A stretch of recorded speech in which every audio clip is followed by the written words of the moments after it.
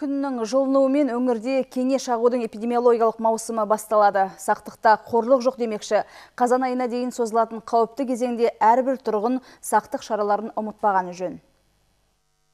Петропавл қалалық санитариялық эпидемиологиялық бақылау басқармасы мамандарының айтуынша, облыс орталығында кене шаққан тұрғындардың саны өткен жылмен салыстырғанда едәуір азайған. Өткен жылы осы аралықта 76 адамды кене шақса, жыл басынан бері 55 жағдай тіркелген.